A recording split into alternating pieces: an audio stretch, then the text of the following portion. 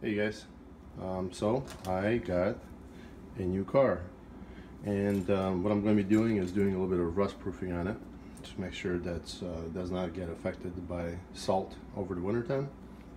So with that said, um, I purchased a new case of this RP342 full case, 12 cans. Uh, I'm going to start out with five. What I'm doing right now is putting them into a warm bath. So this is hot water in there just to kind of get the cosmoline as loosened up as much as possible. But um, also in the meantime, what I did is I dressed up warm, uh, put on the clothes that I really don't care about because it's gonna get pretty much thrown away afterwards. um, other things that I got was the face mask, safety glasses, and and rubber gloves. We'll be using this uh, to get this job done. Alright, I'm going to go ahead and go outside where the temperature is nearly 40 degrees. It's a little bit cold, but uh, I really have no choice. It's not going to get any warmer this year, so uh, let's go get it done. Alright, let's do a quick video of how the stuff gets applied. Uh, so this is a 2012 Toyota Sequoia. As you can see, there's quite a bit of rust already on the frame but not not terrible. So what we're to do is spray right over this stuff just like what I did in my other trucks but spray over the stuff like the sun and uh, so it prevents it from getting any worse. So pretty much just take the can shake it up a little bit get that Cosmo cosmoline worked up and then just start applying and don't spend too much time in a single spot. Just gonna keep going all the way across because you will be doing multiple coats anyway. So you can kind of see the amber color of the wax. You can see it spraying out as well all the fumes.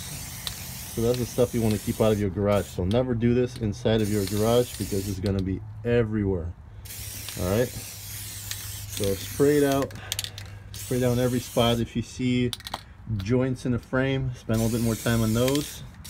But again you're going to be doing multiple coats anyway so just going to do a once over first do a once over and then after that um, get into the details at a later time.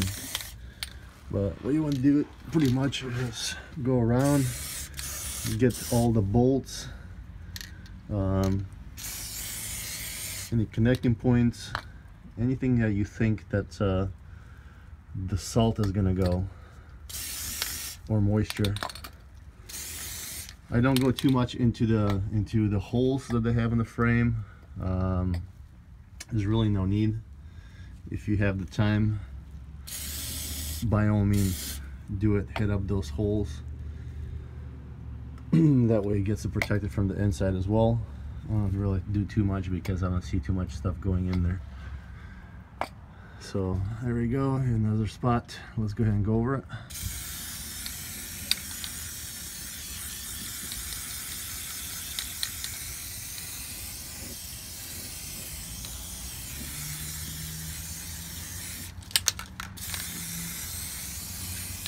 and the extra will drip right off so be careful when you're laying down because it's gonna get on your clothes. You can see it dripping already. But uh, you don't want to put the stuff on too thin and you don't want to put in stuff too thick. Too thick is to run down. Uh, if it's too thin it's not to do its job. So that's just something you got to look out for. Anyway I got quite a bit of work to do so I'm to go ahead and pause this for now. And uh, pause the video and I'm to do the work and I'll probably do another video of what it looks like afterwards alright guys the job is done I'm just kind of going to go over this and show you what it looks like afterwards. I'll probably take some stills so you can get a better picture of what it's like. You can see a little bit of a drippage there. So this will happen. Uh, be mindful of that. Uh, anything that is an overspray is going to drip down and it might get on your driveway. I don't really care because it's going to wear off after time. but um, yeah you'll see that all over the car especially in the heavy spots that you've gotten. But if you want to kind of take a look and see what it looks like underneath, try to do the best that I can. You can see the spray, it has this amber color to it, which you may hate or not mind at all. I don't mind it because I know it's not rust, but it does have this amber color to it. When it dries out, it's gonna darken up a little bit, uh, but it still has this little amber tone to it. So that's what it looks like all around. Try to get the frame as much as I could. all right, let's walk back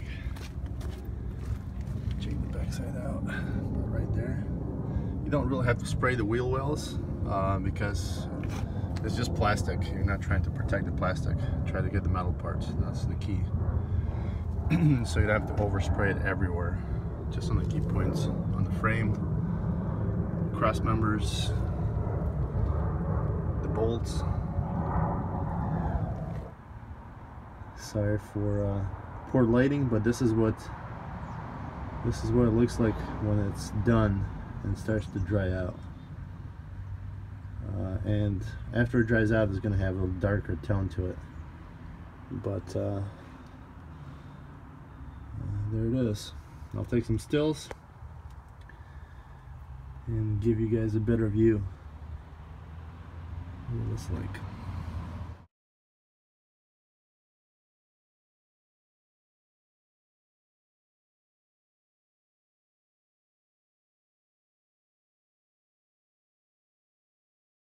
let it sit here and let it run for a little bit. Just keep an eye on that to make sure you don't get anything, uh, any kind of problems with the car. Last thing you want is for some sort of a fire to start. So just keep an eye on it, let it dry out, and uh, once it's done, I'm going to go ahead and park it in the garage. Alright, job well done. Hey guys, uh, just another tip is uh, if you get any of the Cosmoline in your hair, I suggest using this stuff here to get it out. It's pretty natural. Uh, it smells good and washes out easily. Um, and it definitely beats spraying na something nasty like brake clean in your hair. So use this stuff. I recommend it.